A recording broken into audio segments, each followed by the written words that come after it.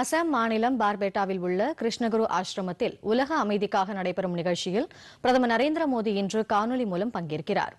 கிருஷ்ணகுரு சேவாசிரம பக்தர்கள் மத்தியில் இன்று மாலை காணொலி மூலம் கலந்து கொண்டு உரையாற்றும் பிரதமர் ஏக்நாம் அகண்ட கீர்த்தனை நிகழ்ச்சியிலும் பங்கேற்கிறார்.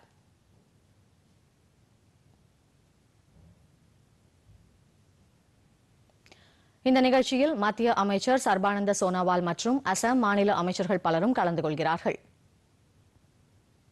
கிருஷ்ணகுரு சேவாசிரம நிகழ்ச்சியில் பிரதமர் நரேந்திர மோடி பங்கேற்பது இதுவே முதன்முறையாகும். கடந்த மாதம் ஆறாம் தேதி இந்த சேவாசிரமத்தில் உலக அமைதிக்காக தொடங்கிய அகண்ட கீர்த்தனை நிகழ்ச்சி ஒரு மாத காலத்திற்கு தொடர்ந்து நடைபெறும்.